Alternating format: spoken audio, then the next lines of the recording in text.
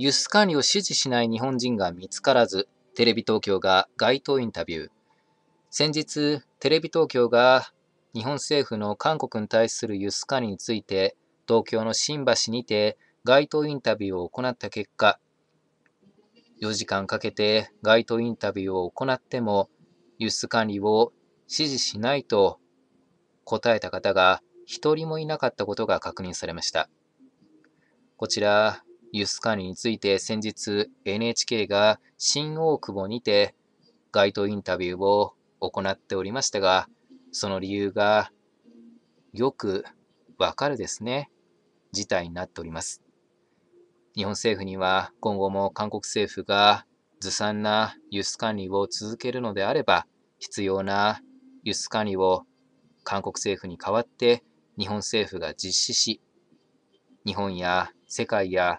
また韓国の安全を日本政府として守っていただくようにお願いいたします。以上になります。ご清聴いただきありがとうございました。